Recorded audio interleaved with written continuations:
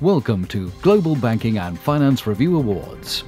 Global Banking and Finance Review is a leading brand name in the world of finance and banking.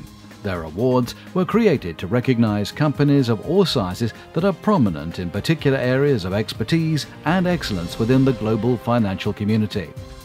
This time we're proud to be able to offer two awards to FBS. FBS is an international brokerage house and has been operational since 2009. FBS has a presence in over 120 countries worldwide and has over 500,000 traders. They specialize in foreign exchange and offer ECN facilities around the clock. With a high tech operation and real time online facilities, traders can get feedback on world market issues at any time. Operators can provide assistance in major languages for traders worldwide. In the new world of online banking, FBS offers freedom, finance, and success. Global Banking and Finance is awarding FBS Best ECN Broker Asia 2015 and Best ECN Broker Middle East 2015. Public Relations Manager Alena Ignateva came to the City of London to accept the awards from Global Banking and Finance Review's Noel O'Leary and Jessica McManigan. Alena, welcome to London and congratulations on the awards as well. Thank you very much. This is the greatest honor for our company to be there, to be uh, and for me to represent the company here in London and to receive these awards. It's a greatest pleasure for us and uh, an exclusively high status for our company. Excellent. Well, welcome indeed. And of course, the two awards Best ECN Broker Middle East 2015 and Best ECN Broker Asia 2015. What extent would you say that they are really important uh, for your company? Well, you know, this is the first time that FBS got these awards, uh, such prestigious awards, Best ECN Broker in two regions simultaneously. And this is, of course, an exclusively high status and genuine breakthrough for our company. And you know, um, it's uh, of particular significance that we get these awards this year that uh, during the time of uncertainty when many companies doing business in foreign exchange markets have collapsed uh, as a result of unexpected decision made by the Swiss National Bank. Uh, but we do not just remain afloat, very top of the waves. and it comes as no surprise that FBS proves uh, to uh, show uncompromising performance in the regions marked by the awards. Um, to tell the truth, uh, the Middle East and Asia are our top priorities for further business development under current circumstances. And we're amazed to see that we have already built vast brand awareness in Asia and true leadership there, and uh, are now steadily conquering our positions in the Middle East. Well, we'll come on to that in a bit more detail, if we may, in just a moment.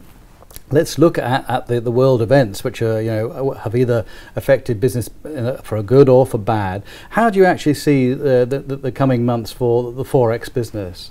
Many of the issues that whipped up volatility last year remain unresolved, um, namely Ukraine, um, uncertainty in the European Union, um, overall economic slowdown, um, unstable state of oil markets, and uh, these factors are likely to continue influencing the markets in the months to come.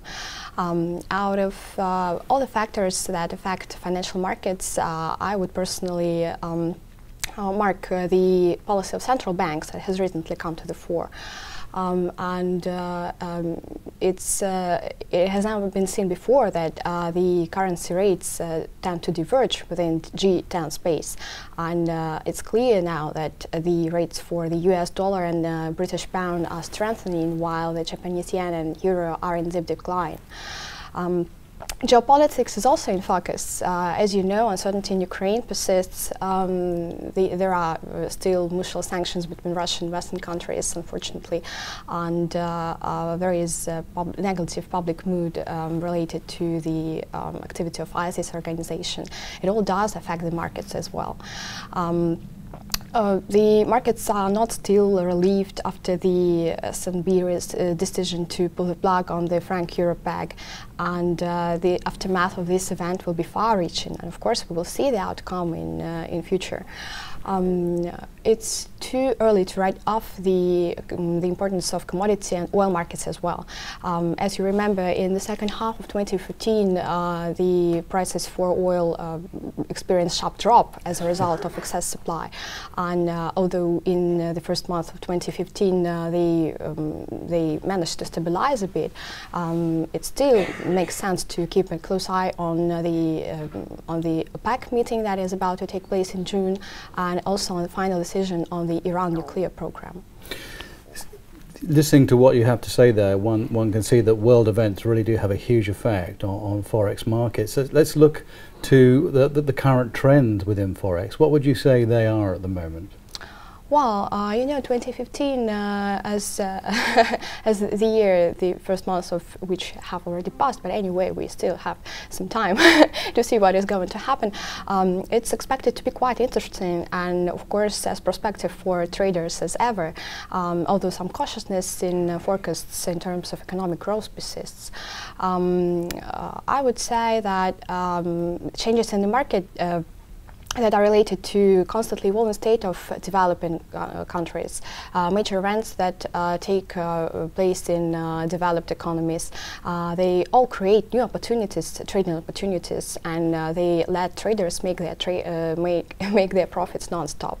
Um, Forex will remain among one of the most highly profitable and beneficial options this year, and uh, it's also remarkable to see that, um, taking into account uh, the crucial events that took part in the very beginning of the year, uh, I, am applying the SNB decision. Um, it predetermined the motto of the year for many forex companies, which is to find balance between wise risk management and regulatory compliance. And uh, now we see that uh, many of our indus industry rivals, uh, they are striving to meet all the requirements imposed by regulatory bodies.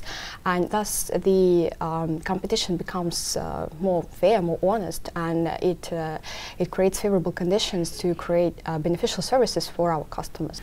Well, I know that there are two areas, you know, of, of, main expertise for FBS, which is within Asia and within the Middle East. Let's let's look at Asia now. Uh, a lot of success there, despite the the toings and froings of the Asian market. Why do you think that is? Well, uh, it's uh, it's important. Uh, it's it's impossible to overestimate the importance of Asian markets in global economy today, and we are happy that uh, from the very first years of FBS operation in the market, we were able to foresee the success of uh, this region, and uh, uh, although this year can uh, prove less dynamic in terms of economic growth of uh, Asian countries and especially uh, Southeastern Asia, which is our top priority in uh, business development, um, as opposed to the situation, the ambiguous situation that came about in the EU, uh, Asia will keep its good positions and good, good development basis this year as well, and I believe in the next years as well. Um, and uh, uh, it's, uh, it's good that uh, as early as uh, in 2009 we put emphasis on Asian markets and uh, came to develop actively on that kindly. So today when many industry rivals are just searching for getaways in Asia, we are a well-known brand there. Mm -hmm. and, and, looking at the, the other opportunities for the Asian currency markets, what would you say they might be? Well, um, Asian currency market has been picking up speed um, in uh, in recent years, and it's of course related to the um, stable and fast GDP growth uh, that uh, that is visible in uh, local economies. Um, the total number of retail investors there is increasing uh, steadily, and it gives solid grounds to suppose that this trend is about to continue in the next uh, months and years.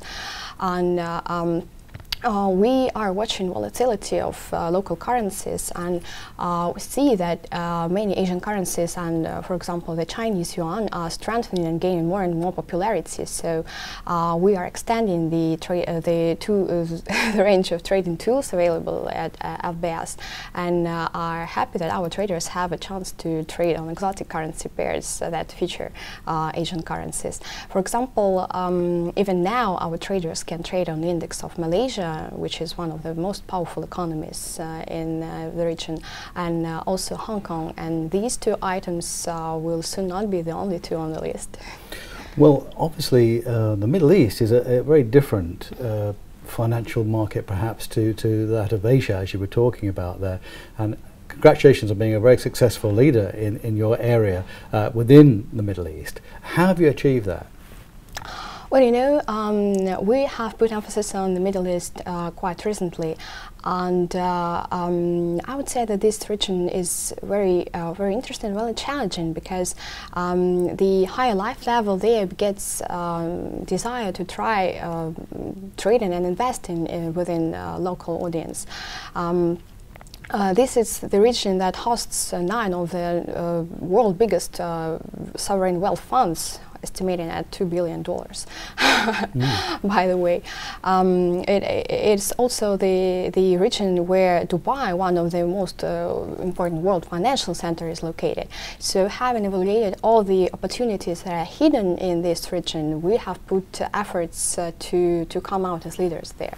And um, our, our secret is quite simple. We just try to create favorable conditions for residents of that countries. Um, taking into account the peculiarities of their mentality and also taking the best from uh, practices of doing business in the Middle East.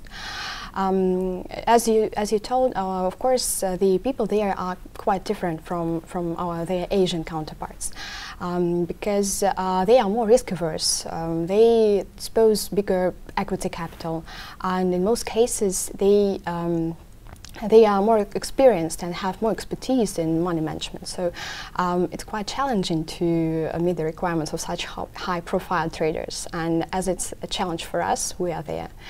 And um, uh, I would say that uh, when clients' wishes are your top priority, it's uh, almost impossible to fail in any nation and on any local ground, because uh, in fact, Forex is versatile. Well, you make it sound quite simple, but I'm sure it's not really. In fact, how do you go about attracting new uh, prospective Forex traders? Well, you know, there are plenty of opportunities uh, and secrets of online marketing that help us uh, build a, wide, brand awareness and uh, wide awareness about a company and its services among the widest possible audience. But of course, it doesn't necessarily mean that they will become our active traders or that they will uh, replenish the rows of our clientele. Um, a newcomer can get involved only in case they are offered something uh, creatively different, something um, advantageous attractive and really beneficial. Uh, so um, online marketing doesn't work out very well in these cases. Uh, it's much better to know how to combine uh, online marketing and uh, direct approach, uh, personal uh, touch. You know, um, so basically, we uh, take part in uh, mm, events that can uh, be of interest for many prospective traders. And there we try to uh, get involved in uh, direct communication with them. After that, we, of course, uh, share news about these events on our website and across so, mass media that we cooperate with. Um, and that's the way we, um, we balance between online interaction and direct communication. And uh, secondly, of course, we try to individualize our services um, because um, everyone who comes to our company and who stays there have a chance to get into direct dialogue with the company um, because uh, from their very first call until their last question, we try to guide and support them. Um, although these principles uh, sound quite simple, they are fundamental in our everyday work. So, so really, it's a it's a kind of a broad-ranging thing, adopting various techniques in different ways. Because you mentioned about online marketing and so on. Um, and as I mentioned there, online, you know, you as an ECN, the Electronics Communications Network, it's it's it's a, it's complicated these days. What new developments do you intend to introduce, or have you introduced uh, in the coming months to actually uh, make your service even more streamlined than it is now? Oh well, uh, actually, we we have fond of uh, novelties because they um, help us uh, to to keep up uh, to keep our level, to um, uh, spread our activities internationally. And first of all, of course, annually we open new offices, new branches. Um, worldwide because we want our services to be adapted to uh, local realities in every detail. Um, thus, uh, last year we opened uh, offices in Cairo in Egypt and in Manila in the Philippines. Um, we also believe that uh, social activity is of greatest, import uh, greatest importance and uh, following these principles we usually take part in the greatest exhibitions uh, in uh, the events that get uh, broad media coverage and of course try to create newsworthy occurrences as well. We uh, actually, we want our traders to uh, not just um, come and trade with us. We want to create for them uh, some uh, um, exciting experience uh, to make their um, to make their investing uh, into forex markets like an entertaining game. So now we are busy developing a new website for our company, and of course, um, as we are as we are popular as an immensely successful broker, we could not come by the most recent technological innovations, and we are now trying to create a, a, an eye-catching space for every trader. And uh, of course, we do have some new promotions and bonuses in store. and, um, I can say that exclusively for our viewers that uh, very soon we are about to announce a new promotion where traders themselves will be able to choose their prices.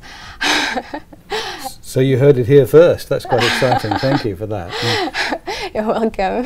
well, that's something to look forward to. Look forward to seeing the new website as well. And in the meantime, congratulations on the awards and thank you so much for coming to London to talk to us today. It's been great. Thank you very much. Thank it was a pleasure.